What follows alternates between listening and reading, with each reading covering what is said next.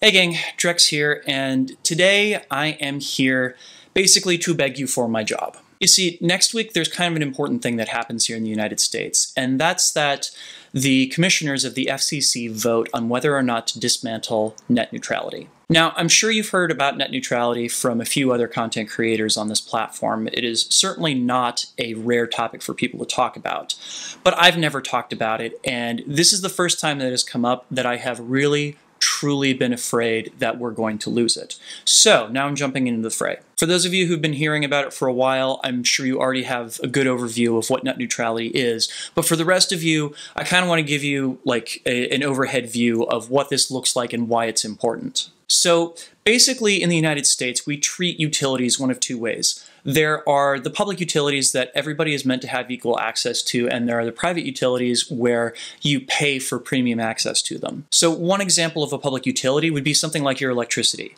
Now, you pay for every kilowatt hour that you consume of electricity, but you don't pay more for the electricity that goes to a particular appliance versus another. Some appliances may eat up more electricity overall, but you don't have to pay for premium package to use your refrigerator or your laptop. On the other hand, there are utilities like, say, cable TV, where it's all arranged according to different packages.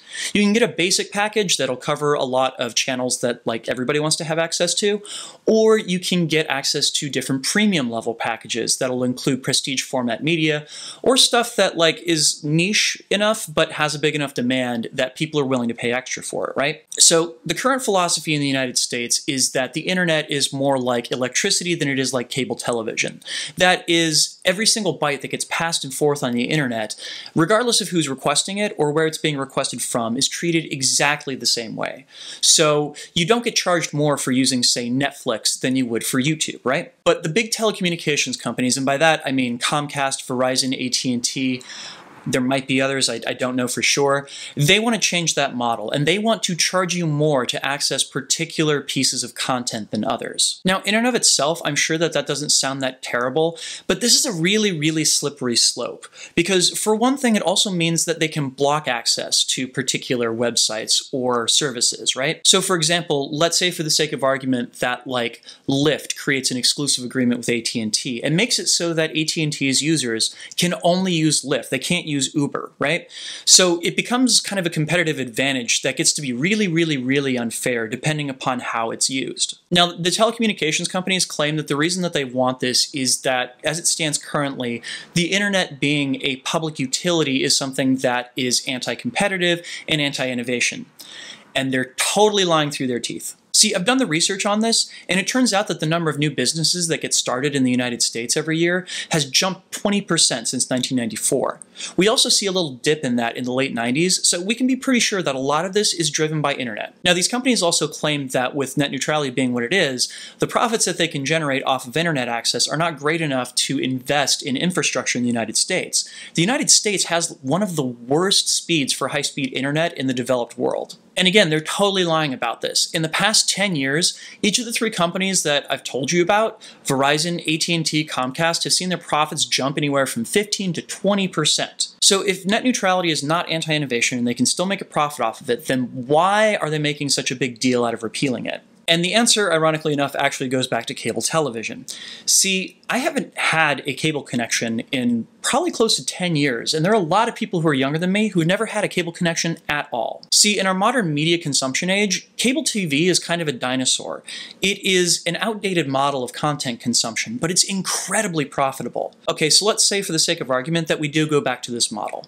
Why is that a problem? Well, the biggest reason is that it cuts off the potential for scrappy little innovators like companies that started small and grew big, a couple of which you might have heard of, Facebook, Google, for example, these companies all started off in dorm rooms, and now they're among the most powerful utilities that you can access on the internet.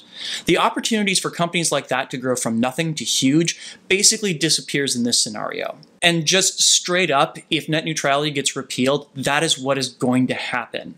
That kind of innovation is going to go overseas. The United States is no longer going to be the center of it. Okay, so let's bring it back home and talk about why it is important to me then.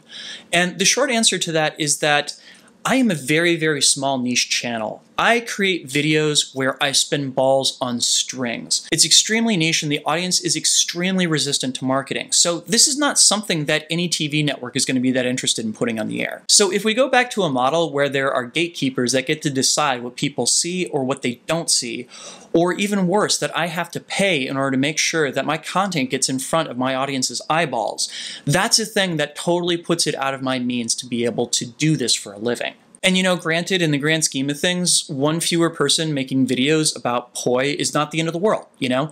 There are plenty of other things that I can do for a living, and to be honest with you, I'm probably not going to stop making videos. It's something that I enjoy doing, but I'll probably make less of them, and I'll probably be a lot less ambitious about what I try to do with them. Okay, so let's say for the sake of argument that I've convinced you or that you were already convinced. What can you do to help keep the FCC from repealing net neutrality? So the biggest thing is to reach out to the FCC. They need to hear your voices and they need to hear them within the next week. I've included the email addresses to all the different commissioners on the FCC and you should write to each and every one of them and tell them, number one, that net neutrality is good for you and that it's good for the economy. I really like my job, and there are thousands of other content creators out there just like me that also like their jobs too. And we've created this wonderfully creative community online for people that have crossed over that border not just into being consumers of content, but creators of it as well. And I think that's something really special and something that we should work to save. So if you can take out a couple minutes to write to the FCC and let them know that you'd like to keep me around a little bit longer, that would be super awesome and I'd really appreciate it because I really like my job and I'd really love to keep it. So thank you in advance and peace.